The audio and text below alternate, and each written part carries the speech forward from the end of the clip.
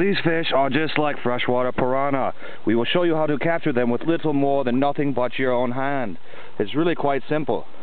You just reach in, wait for them to attack you, and you should be able to pull one out with your own hands. Like so. And there you, my friend, is how you catch a freshwater piranha.